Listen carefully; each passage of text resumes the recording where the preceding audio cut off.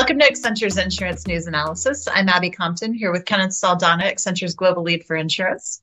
We'll be talking about what's making news around the industry. Kenneth, June 28th was National Insurance Awareness Day here in the US. Uh, the industry marks the occasion to remind customers to review their coverages, but Insurance Journal also took the opportunity to cite US Chamber of Commerce data that show that half the current insurance workforce will retire over the next 15 years.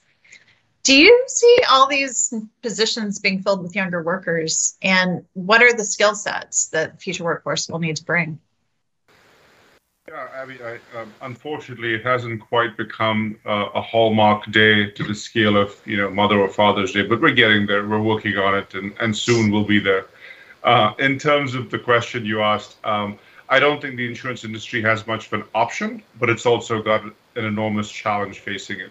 I think the um, two things really, uh, the industry really hasn't ever had a strong draw in for uh, recent college graduates or people who come into the industry, come into the uh, employment base looking to be uh, focused on insurance. It typically has tended to be uh, people who step into an insurance company for one reason or the other, so, so somewhat by chance, uh, and then get to know people and actually stay with the industry.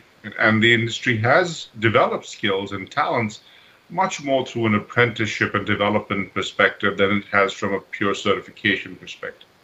So I, I do think it's going to be a huge challenge. There is a uh, certainly a disproportionate level of older, more experienced work uh, workforce, especially when you look at places like underwriting, like claims, like agents, even right. Um, and so I think there will be a absolutely has to be a need uh, for some infusion of younger talent into the industry, you know, in tandem with our human plus machine viewpoint that says it is a different kind of job now.